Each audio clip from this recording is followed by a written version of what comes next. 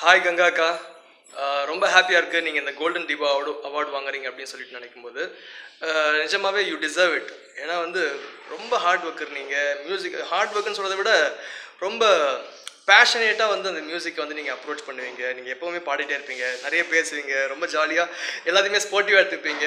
நானும் உங்கள் உங்களை வந்து பார்க்கும்போதெல்லாம் நீங்கள் வந்து அலைகள் ஓய்வதலை படத்தில் வர ராதா மாதிரியே இருக்கீங்கன்னு சொல்லிட்டு நான் சும்மா உங்களை இது பண்ணுவேன். பட் சீரியஸாகவே நீங்கள் அவ்வளோ க்யூட்டாக இருக்கீங்க அவ்வளோ க்யூட்டாக பேசுகிறீங்க பாடுறீங்க. ப்ரொஃபஷனலி ஸ்பீக்கிங் நீங்கள் ஒர்க் பண்ணது கம்போசரே கிடையாது அப்படின்னு சொல்லலாம். எல்லா லாங்குவேஜஸ்லையும் நீங்கள் எந்த ஒரு லாங்குவேஜுமே விட்டு வைக்கல. ஸோ எல்லாத்தையுமே பாடிட்டீங்க. கிட்டத்தட்ட தௌசண்ட் சாங்ஸ் கிட்ட பாடிருப்பீங்கன்னு நான் நினைக்கிறேன். அதுக்கு மேலேயே இருக்கும்.